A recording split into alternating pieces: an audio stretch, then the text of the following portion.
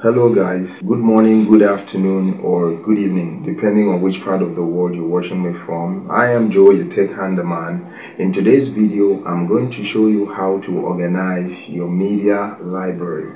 Now, if you have a whole lot of um, photos, for instance, in your media library and you want to use a particular one, it could be very difficult, I mean, time consuming for you to sift through a whole lot of photos before you get to the one you use. So in today's video, I'm going to show you how to organize to keep things simple and very efficient when you're working with your media library. Now, if you haven't watched from lesson one in this series, please do because you cannot actually understand where we are at the moment if you haven't watched from lesson one up to this point. Now, if today is the first time of you watching, please subscribe, like, share the content, and of course, turn on the notifications so that anytime we upload, you'll be the very first to know. Like I always do say, when you grow, we grow. If you are ready and your system is properly set up, let's do it together. Okay, guys, find your way to the backend, the login page of um, WordPress. Supply your login details and click login it will take you to the dashboard.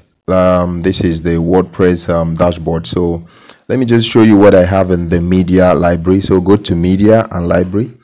Um, this is the number of um, photos. This is the photos that I have in my media library. I think there are 15 items right here.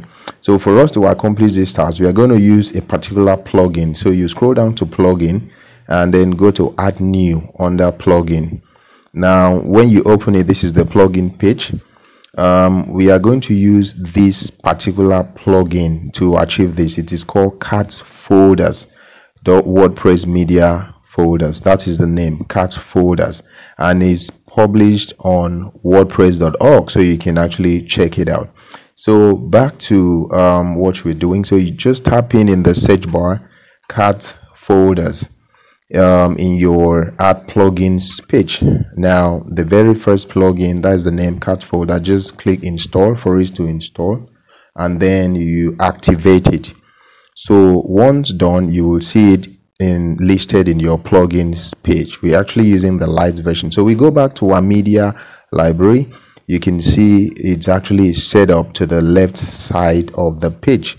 Okay, so we are going to see how we can organize this. First off let's add some um, some other images um, so you follow the normal process. I think we've covered it in some of our videos. You can check it out how to upload photos here. So i'll just select all these and then um, upload them at once. I'll repeat the process three times so i can have duplicates of these um, photos. As you can see so if you scroll down, you see all of the photos here. Um, well, the one I uploaded, they are there are at least three um, copies, except for a few, like this particular one that has four. So go to new folder on the plugins end and type in the particular name that you want a particular um, number of photos to be in. In this case, I will I will just type skyscraper I want all, and then when you're done, you click on save. I want all photos related to skyscraper to be in this particular folder. So what do I do? I will just um, box select. Okay, so uh, like this, these are the skyscraper, the, the photos I'm talking about.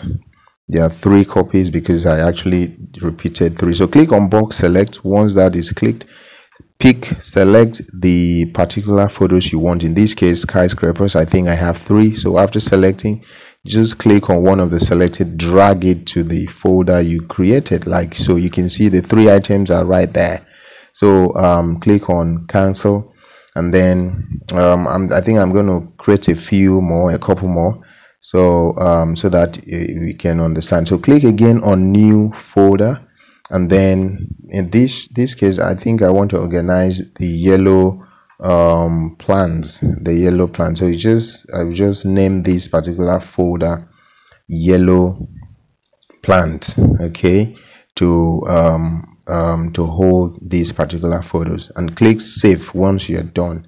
So repeat the same process by clicking box select and then pick or select the photos you want to put in this folder. All you need to do is just drag one of the photos like so into the folder. Now um just this is uh, for the purpose of demonstration. Okay you can repeat the entire process again.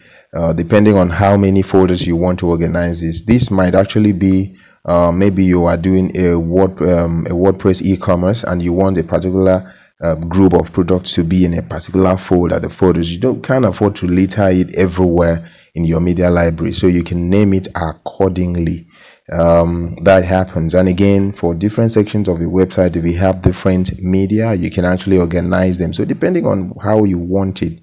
Okay so this is how it is done. So i will create the the name of the folders i want um, to um, to put these particular photos in and then select the photos i want drag it into the folder. That is actually how it is done so um, I think I will do um, the dragging for the other time I did box select for but this particular one I'm going to do the skin disease folder. I'm going to be using another method. This is skin disease. Once done just click save. So you have the skin disease. So what I will just do instead of box selecting I will pick it individually. So I'll just drag the item and drop in the folder. I will drag it and drop like so then I will repeat the entire process. But this looks boring and imagine having up to 20, 30 photos to do so. It will take a whole lot of time. So that's why the box select option is always um, okay. So skin disease, you have four photos in there.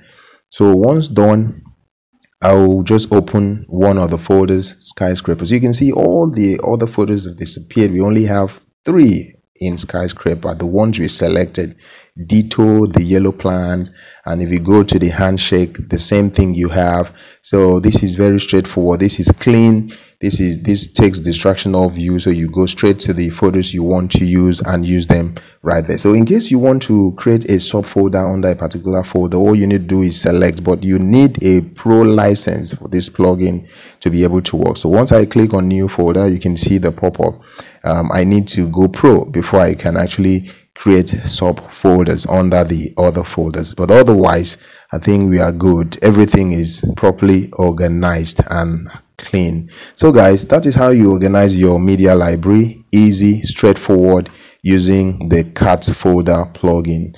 Thank you for watching so far. See you in the next video. Bye for now.